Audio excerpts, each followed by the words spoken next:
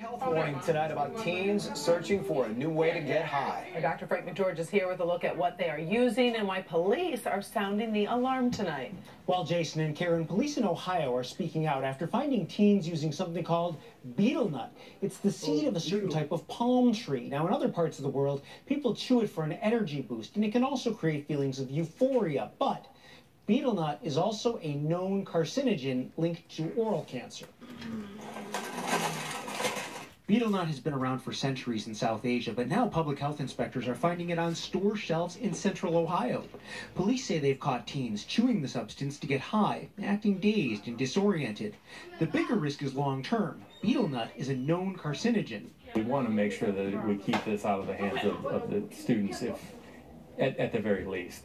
Experts say betel nut is not a controlled substance, but it is illegal to import it. It's readily available online, sold for less than $10. A loophole law enforcement wants to see shut. We would like to see distribution and, and possession completely outlawed.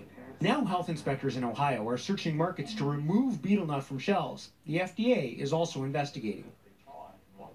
Now, betel nut has also been linked to mouth and esophagus cancers as well as tooth decay and staining. So it's a good reminder talk to your kids about the hazards of unknown substances. Yeah, I wouldn't even know to look out for that name. And it feels like it's a step above just chewing tobacco like this. Oh, yeah, definitely. more powerful. Oh, definitely a step above. Yeah. And something that I think there's going to be further legislation on at some point. Definitely. Oh, all right. Mm -hmm. Thanks, Dad. Sure.